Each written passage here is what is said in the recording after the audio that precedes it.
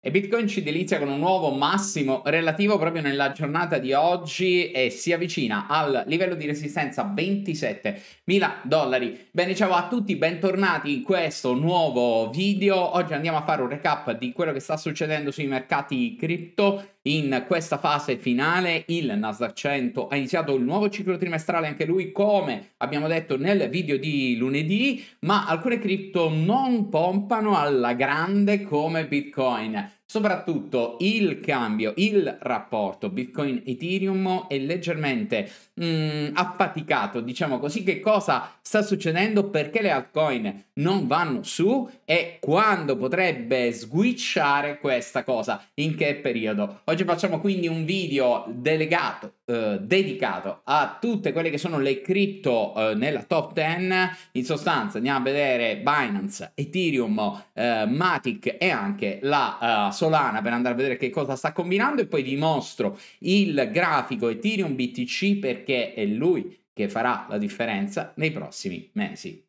Prima di andare avanti però è scontato il lancio del Bitcoin che ci sta portando un po' di fortuna proprio in questi periodi, anche se non ne azzecca uno nelle ultime settimane. Ma guardate un po' che è random però, eh, ragazzi, oggi è uscito, oggi è uscita la B e quindi va bene così, insomma, oggi è uscita questa e quindi up. Vediamo se sarà così uh, dopo il weekend, perché inizierà il weekend. Allora, iniziamo subito, ragazzi, con i grafici delle altcoin, delle cripto. Eh, verifichiamo come mai non stanno pompando come Bitcoin e poi andiamo invece a ragionare su, mh, proprio sul uh, cambio ETH. Uh, eh, BTC però vi faccio vedere prima di tutto il grafico la chart di Bitcoin Bitcoin che sul minimo del 10 di marzo in maniera inaspettata inizia un nuovo ciclo trimestrale e in questa eh, giornata daily oggi tenta nuovamente il breakout della fatidica livello de, fatidico livello di resistenza 25.026 c'era um, ci aveva provato proprio nella giornata di eh, martedì in maniera uh, poi era tornato indietro adesso un nuovo massimo che è, è stato fatto a 27.025 con i prezzi di Bitstamp 27.000 circa. Mm, vediamo se regge perché eh, come vi ho più volte detto ragazzi devono questi tipi di breakout dei, dei livelli di resistenza rilevanti devono essere fatti assolutamente almeno in cross daily ma per questo io attenderò comunque la fine della settimana, visto che già ci siamo, sabato e domenica. Quindi vediamo, incrociamo le dita, vediamo se oggi uh, riesce a fare esattamente questo livello di breakout. BNB che nella giornata di ieri ha sparato per un nuovo launchpad che è eh, partito, diciamo, su uh, Binance, ragazzi, e, e dove sta uh, andando? Qual è l'analisi ciclica di BNB? Eh, già vi dico che in questo video andremo a vedere delle aree temporali che sono un po' confluenti tendenti verso metà aprile, eh, maggio come area di topping, un po' già quello che vi avevo accennato. Alcune cripto sono messe benino, come per esempio BNB. Matic si sta indebolendo, già questo ve lo anticipo. Uh, secondo me ci sono delle cripto messe un po' meglio, poi ovviamente trend is your friend, quindi non si possono prevedere i futuri, però andiamo a vedere perché di queste cose.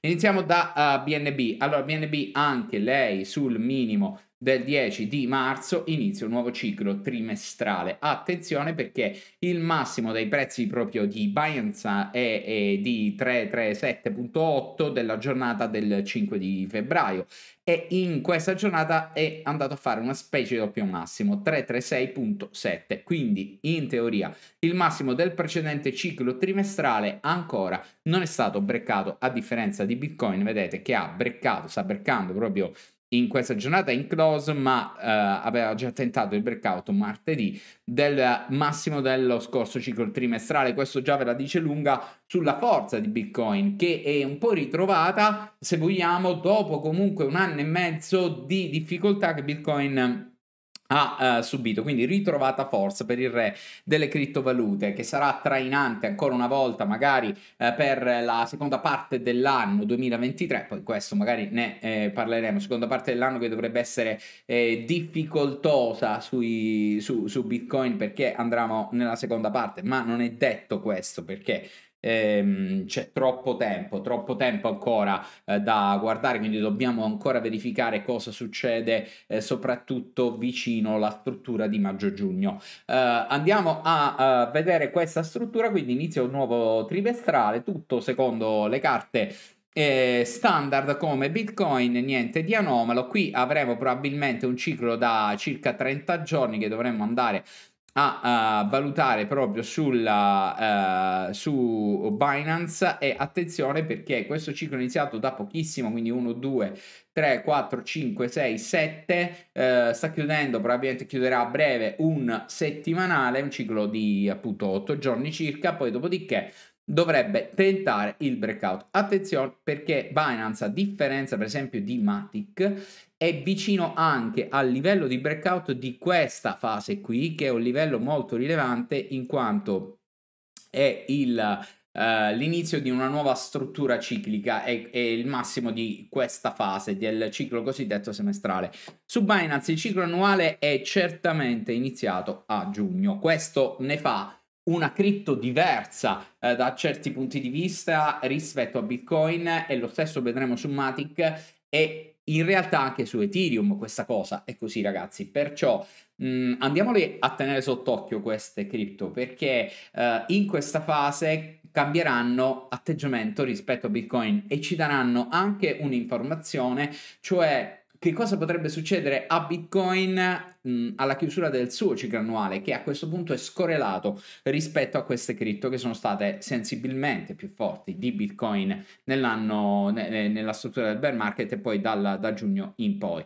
Quindi questo ciclo annuale teoricamente si va a chiudere a giugno del 2023. Allora, eh, teoricamente perché eh, qualcuno di voi ormai lo sa, eh, i cicli annuali hanno comunque una variabilità eh, i cicli in generale hanno una variabilità temporale di circa il 20%, deviazione standard del 20%, un po' di meno magari su alcune cripto. Uh, questo ci porta all'idea di dire che è più o meno uno o due mesi, questo è concettualmente. Allora, sul meno avrei forti difficoltà a ragionare, però eh, di solito questi tipi di cicli allungano molto perché in realtà il ciclo annuale di BNB al momento è un ciclo neutrale eh, con un minimo iniziato qui che però sta facendo un cammello gigantesco come vedete quindi non ha non è né un ciclo a, bull market né un ciclo a bear market, perciò è un ciclo neutrale, anche se probabilmente tenterà di chiudere magari su un minimo superiore a quello di giugno eh, e quindi sarà alla fine magari un ciclo rialzista.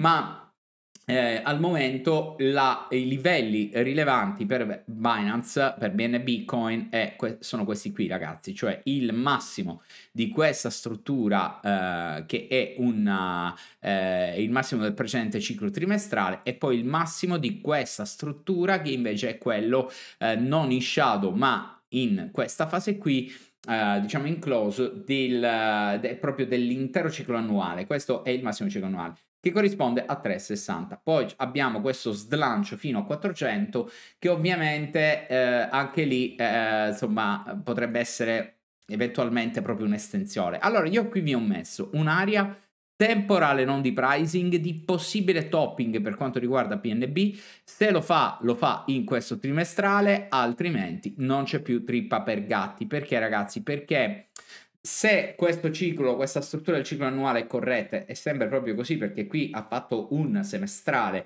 da 180 giorni, qui probabilmente andrà a farne uno simile. Uh, se è corretta questa struttura, mh, mm, questa è la massima possibile eh, fase temporale di estensione. Ciò significa che da lì in poi Uh, probabilmente la cripto potrebbe andare poi a chiudere il ciclo annuale, quindi bisogna starsi attenti, mettere trailing stop. Attenzione, non vi ho detto di fare take profit perché io sono un trend follower e ve lo continuo a ripetere. Trend is your friend, a prescindere dall'analisi ciclica, dovete seguire il prezzo. Se il prezzo continua a salire, continuate a stare sul mercato però magari in quella fase lì un'area di uh, trailing stop più stretto mh, mm, lo potrei anche accettare. A proposito ragazzi, fra un paio di settimane arriva una bomba news per tutto il canale eh, che si baserà sulla questione ciclica, già ve lo dico, eh, ci sarà un webinar, non vi spoilerò niente, ma vi tengo un po' sotto, uh, vi metto la pulce nell'orecchio, diciamo in questo modo.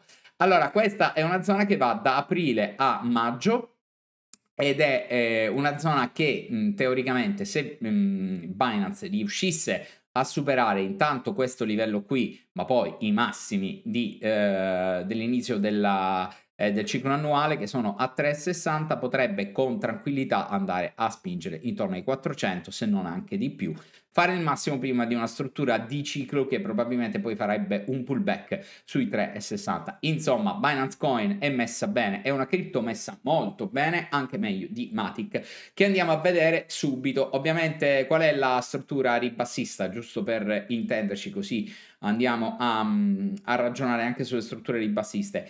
Fin tanto che regge questo minimo, il 260 dell'altro giorno, eh, questo trend non può invertire. Uh, ora, una struttura ribassista dovrebbe indicare che questo ciclo mensile si indebolisce, non riusciamo a superare quei massimi, iniziamo a fare una cosa del genere. Dopodiché, nel successivo mensile, brecchiamo questo livello. A quel punto, tutta questa analisi è completamente annullata. Per, già eh, mi aspetto che se già non riesce in questo ciclo mensile a distruggere il 3,40 e 3,60 magari non supera i 360 ma sì ci avvicina, mi sta bene, soprattutto non fa una chiusura profonda di questo mensile, allora va bene. Ma se dovesse fare una uh, struttura di debolezza con una chiusura molto profonda, inizio a tentennare questo scenario di possibile fase di up in questa zona temporale. Perciò lì mi aspetterei un uh, switch Uh, da, da, Binance. Andiamo a vedere Matic che ci perderemo meno tempo perché semplicemente è molto simile a uh, a BNB mm, con una struttura diversa perché Matic ha un ciclo annuale iniziato anche lui a uh, giugno, forte, molto forte, però uh, ha fatto un massimo in questa fase. Ora ragazzi, nulla vieta che questo massimo di Matic riesca a resistere Uh, perché Matic è entrata in pratica nel suo ultimo ciclo trimestrale, quello dell'annuale. Uh, bisogna stare molto attenti perché se una struttura ciclica annuale regolare, allora ha fatto il suo ping pong in questa zona e questo ha tante carte, carte in regola per essere il massimo di periodo proprio di Matic eh, prima della chiusura magari del ciclo annuale. Eh, ha, insomma, ha tantissime carte in regola ragazzi. Ora, vi ripeto, non si può prevedere il futuro, però da un punto di vista logico, se dovessi switchare, terrei sotto controllo l'idea, magari in una prossima fase, di poter provare più Binance come trading, non come position, non come holding, ma come trading per uno o due mesi, una decina, una trentina di giorni.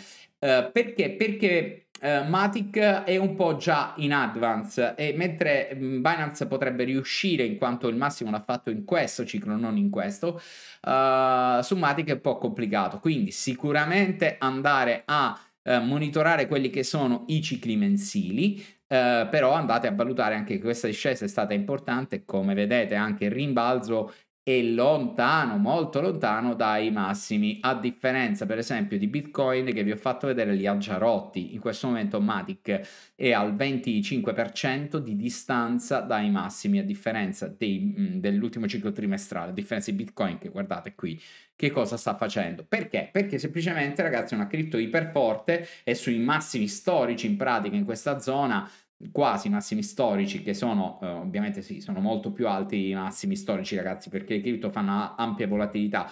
Però se voi ragionate in versione di lungo periodo vedete che sta oscillando in questa struttura. Quindi insomma era partita da qui nel 2019 fatevi un po' il conto. Quindi Matic un po' da attenzionare secondo me un poco poco più debole rispetto a uh, eh, BNB, uh, eh, andiamo a vedere Ethereum e poi Solana e poi vi faccio vedere il super grafico, quello più importante di tutti che è essenzialmente Bitcoin uh, Ethereum. Allora, Ethereum ha una struttura particolare, ragazzi, inutile che ci eh, giriamo intorno. È una via di mezzo fra Binance e Matic, perché ha un massimo nella prima parte del ciclo annuale molto pericoloso, ve lo garantisco perché la configurazione di un ciclo annuale iniziato qui non si sa ancora se effettivamente potremmo andare a considerare questa come una specie di semestrare le lingue di Bayer. È, è, possibile su Ethereum perché Ethereum potrebbe essere estremamente correlato a Bitcoin, però su Binance e su uh, Matic questa cosa è sicuramente no. Uh, su Ethereum un po' c'è, ma è una forzatura, quindi io al momento valuto il ciclo annuale iniziato a, mm, a mm, giugno. Se così fosse, ragazzi, o Ethereum in questo trimestrale va a breccare questo massimo e poi chiude l'annuale, oppure eh, non ce la fa. E se non ce la fa, vuol dire che fa il massimo in questo annuale ed è pericoloso. È pericoloso perché potremmo assistere a una cosetta di questo tipo, cioè a una fase di estrema debolezza per tanto tempo rispetto alle altre cripto. Mi stona un po', ve lo dico francamente, perché è una cripto che a differenza di BNB o di Matic sta lavorando in maniera un po' più debole, considerando che parliamo della regina delle cripto e considerando anche che solo un'eventuale notizia, magari un po' di regolamentazione consistente, spingerebbe Ethereum a crashare un po' di più, sicuramente una regolamentazione che mh, colpisca l'Hash 20, quindi i progetti come Ethereum, il concetto è quello della famosa security, no? che sta tirando su la SEC, eh, colpirebbe in egual misura, se non peggio, anche Matic e BNB. Quindi a quel punto, mm, eh, ok, mi suona strano, mi suona un po' strano il fatto che quelle cripto possano seguire un trend diverso. Eh, perciò al momento quello che farei, ragazzi, è monitorare la tenuta di questo livello che sono i 1800, perché Ethereum è riuscita ad avvicinarsi, ha anche superato in shadow il massimo del precedente ciclo trimestrale, però è ancora eh, debole perché questo livello, questo livello è molto forte, non, non riesce, vedete, a superare questa fase. E superata questa zona che sono i 1760, insomma i 1800 dollari, poi ha la pista aperta per raggiungere immediatamente i 2000, quindi potrebbe accorciare le distanze proprio in questa zona. Ma se Ethereum fa una cosa del genere, probabilmente Bitcoin supera i 28 mila dollari e va verso i 32. Questo ne parliamo tra pochissimo. Uh, detto questo, ragazzi, quindi il livello da monitorare su Ethereum è questo qui. Deve breccarlo a momenti settimana prossima. E anche lì, uh, se fa un ciclo annuale che tendenzialmente mira ad essere rialzista, deve breccare questo livello, fare un doppio massimo. Perciò qui potrebbe arrivarci sempre verso aprile-maggio. Andiamo a vedere eh, Solana e poi vi faccio vedere il mio super grafico, che è quello che mi piace più di tutti. Solana ovviamente è in iper difficoltà, non si capisce la struttura ciclica di Solana per via delle manipolazioni che ha subito dovute alla questione del um, eh, fallimento di FTX, perciò dobbiamo andare a considerare dicembre 2022 come un minimo ciclico di qualcosa di importante. Teoricamente anche qui dovremmo aver chiuso un ciclo annuale a giugno. Se Solana ha chiuso il ciclo annuale a giugno, ragazzi, eh, questa va in chiusura del ciclo annuale a mm, giugno-luglio. E pa- vi parlo chiaro, cioè se qui non è stato troncato un ciclo, un ciclo superiore e non ce ne siamo accorti perché qui è avvenuta comunque una super manipolazione, ci può stare tranquillamente che Solana abbia uh, fatto una cosa unica perché ovviamente è una cripto, intanto non è una stocks, non ha storico uh, di anni e anni e anni, è mm, ipermanipolata in questo caso perché insomma ha subito la questione di FTX, quindi ci può stare, ma se qualora questa struttura ciclica fosse confermata come un vero ciclo annuale iniziato qui e quindi qui non è stata fatta nessuna eccezione ma siamo nel ciclo annuale precedente, Solana farà un nuovo minimo entro luglio. Questo è, è quello che ci dice l'analisi ciclica. Ora, per una cosa del genere mh, mm, mi aspetto un disastro, ovviamente, che derivi da tante considerazioni. Quindi due sono le ipotesi, sempre due, ovviamente gli scenari sono ragazzi, però in questo caso siamo un po' in uno scenario un po' più consistente perché qui non sono mm, eh, probabilità. Allora, o l'annuale di Solana è stato chiuso a dicembre con un'anomalia e ci può stare e quindi è iniziato a dicembre, Oppure eh, Solana andrà a fare un nuovo minimo entro la chiusura di questo ciclo annuale. E questo è molto significativo perché, ragazzi? Perché c'è un livello di prezzo che potete assolutamente tenere sotto controllo ed è questo qui. Perché il livello di prezzo del mm, ciclo trimestrale attuale, eh, quello iniziato il 10, è molto rilevante in quanto se questo livello di prezzo non regge, eh, attenzione qui mh, dobbiamo dargli un po' di giorni, eh? dobbiamo superare comunque la fine del mese di marzo, però se questo livello eh, non regge mh, ad aprile per dire e questo trend incomincia ad ammorbidirsi e va a fare una chiusura di un ciclo mensile qui inferiore e lì ragazzi starei molto attento perché poi l'eventuale rimbalzo potrebbe essere il must short di questa cripto che poi a questo punto farebbe una cosa del genere. Quindi Solana eh, in questa fase è assolutamente da tradare, non da holdare, eh, perché è pericolosissima in questa fase. Se volete holdarla va bene, ma si rischiate che sotto quel livello di pricing si va a dimezzare praticamente tutto, perché la ciclica non è favorevole a questo titolo. Eh, a questa cripto. L'unica possibilità che invece vada a continuare un trend rialzista è che su questo minimo sia stato chiuso il vero annuale, non qui, e a questo punto è un po' solitaria. Non del tutto solitaria perché ci sono altre cripto come DYDX, Phantom che hanno chiuso comunque a dicembre. Quindi non lo mh, mm, possiamo buttare, diciamo, questa ipotesi, però sicuramente eh, preferirei usare questa criptovaluta, visto anche l'ampia volatilità, come trading di natura mensile, cioè più eh, dedicato a seguire il trend di natura mensile. Quindi posizioniamoci sul trend al rialzo, ma se inverte poi scappate gambe all'aria.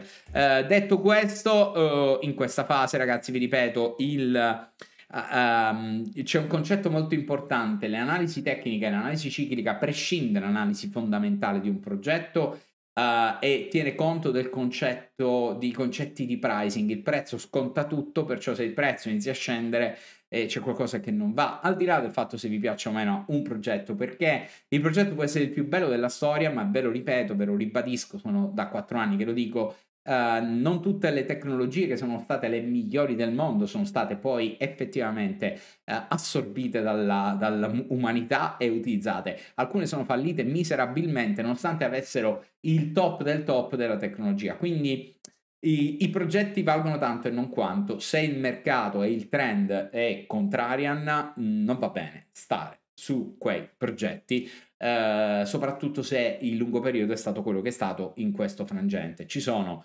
eh, investimenti più sicuri che si possono fare. Nulla vieta però a questa cripto appunto di aver chiuso qui l'annuale eh, con un'anomalia tecnica dovuta al fallimento di FTX e che quindi in questo caso si può valutare ovviamente. Però eh, nulla ragazzi, basta semplicemente attendere, per esempio magari già il superamento di 23, invece di entrare sui dip, entrate sui break e attendete, perché poi dopo i 23 ci può essere un 27. Solo il superamento dei 27-30 sancisce un nuovo annuale da qui. Eh, fino a quando questo non viene toccato, questa zona, Uh, c'è il rischio ancora di fare un nuovo minimo. Quindi solo da qui in poi un breakout di questo livello sancisce un nuovo possibile ciclo annuale da questa zona.